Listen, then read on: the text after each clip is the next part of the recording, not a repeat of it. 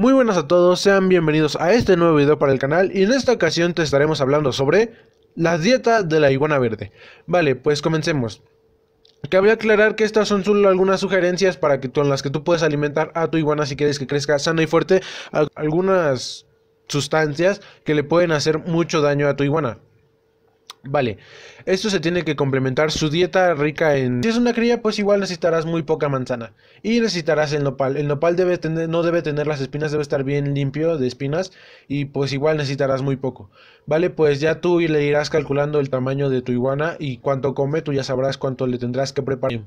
Banana, o sea, plátano, puede ser una... Esta puede ser de frutas, puras frutas.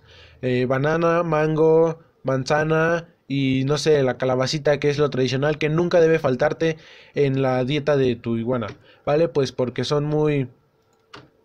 ¿Cómo te podré decir? Son muy tragonas y pues vale, dependiendo del tamaño de tu iguana es lo que debe comer, o sea, las iguanas son muy payasas, muchas no les gusta comer cualquier cosa, pero pues bueno.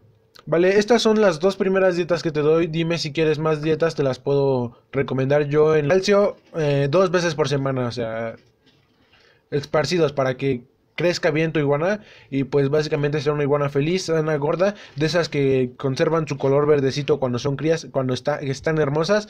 Y pues vale, a continuación te voy a dejar como lo había prometido unas imágenes de mi iguanita, qué tal está, eh, voy a ver si encuentro una foto, creo que le tomé fotos cuando recién llegó.